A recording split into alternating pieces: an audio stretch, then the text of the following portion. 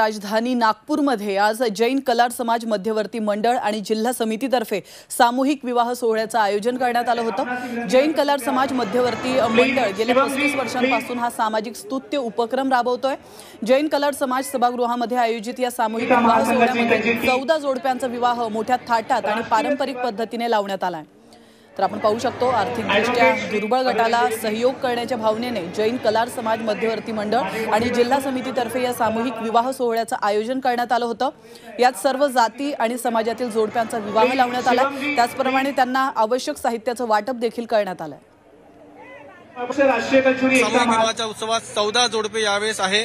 आणि आमचा उद्देश हाच असतो मंडळाचा जैन कलार समाज मध्यवर्ती मंडळाचा की गोरगरिबांचा त्यांच्याही आशा अपेक्षा असतात.